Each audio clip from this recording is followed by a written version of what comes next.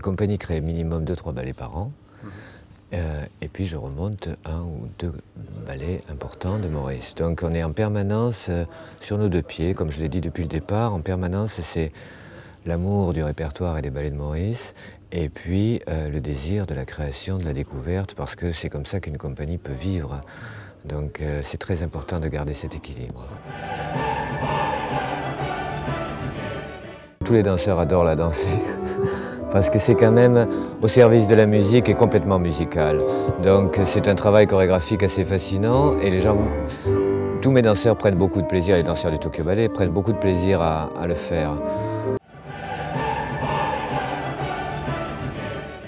Le Tokyo Ballet, c'est une compagnie amie.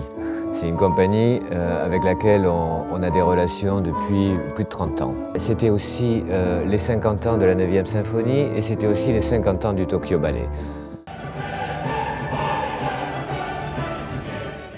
Ce que vous avez fait là avec ce tapis, c'est... On en a fait des essais pour y arriver, mais c'est une réussite complète parce que la couleur est parfaite, c'est exactement ce qu'on voulait, c'est exactement le brun que Maurice voulait par rapport à la terre, les dessins sont très bien faits et ils ne glissent pas. Donc c'est une réussite complète. Donc euh, voilà, sans tapis on ne fait pas la neuvième.